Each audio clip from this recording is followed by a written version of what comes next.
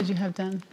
I got um I got a slight eyebrow lift, and that's why I had these staples Is in my that head. permanent? Yeah, it's permanent. It's not, they're not gonna come down a little? No. I had um, my nose redone. I had my own fat injected into my cheeks.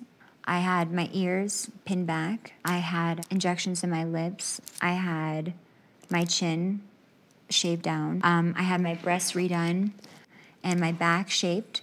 And then I had a little bit of inner and outer lipo done. You risked your life to do the things that you did. Mom, there's brain surgery every day. There's That's- huge surgery. You had that are every elective surgery that was completely unnecessary To you, it was unnecessary. I just feel like that when you left home, you had more confidence and more self-esteem than any person I'd ever met in my life. Well, you know, growing up, I used to put water balloons in my bra, and I always wanted big boobs, and you know, it's not anything new. Uh, You said you want bigger boobs than you have now? I actually wanted bigger ones, but they couldn't fit in. It sounds to me like you want to look like Barbie. I do want to look like Why Barbie. would you want to look like Barbie?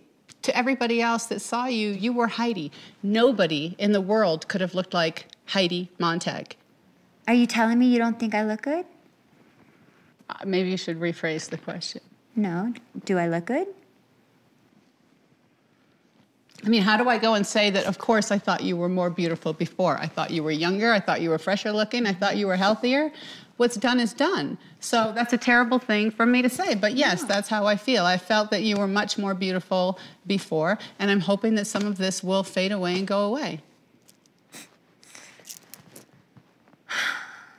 You don't have to support it or think it looks good, but you have to realize what I've been through. And you have to realize that I've been through so much pain. And coming here and having you attacking me is just really hard.